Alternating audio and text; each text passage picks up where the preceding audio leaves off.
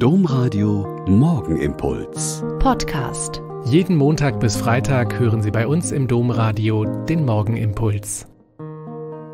Herzlich willkommen zum Morgengebet. Ich bin Schwester Katharina, bin Olper Franziskanerin und freue mich, dass wir jetzt hier zum Beten zusammen sind.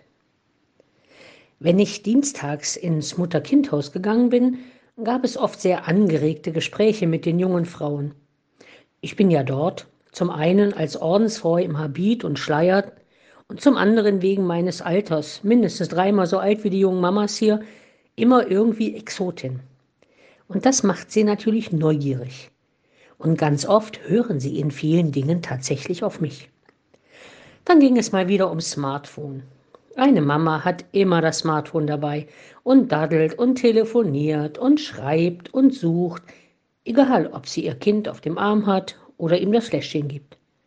Und eine andere junge Frau, mit der ich darüber schon vor Monaten gesprochen hatte, hat nun quasi meine Worte benutzt, um ihrer Kollegin zu sagen, dass das nicht so toll ist, das Telefon zu nutzen, während das Baby dabei ist.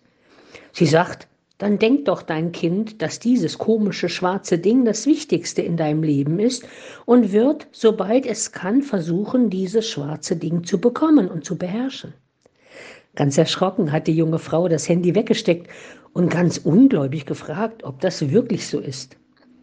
Da ist mir nochmal klar geworden, dass wir selbst in unserem Alltag immer mal schauen müssten, wem gilt eigentlich meine ganze Aufmerksamkeit? Wer oder was fesselt mich? Oder wofür habe ich immer Zeit? Was schaue ich immer wieder an? Von der heiligen Clara von Assisi gibt es ein sehr schönes Wort. Sie hat einmal gesagt, im Anschauen deines Bildes, o Herr, werde ich verwandelt in dein Bild.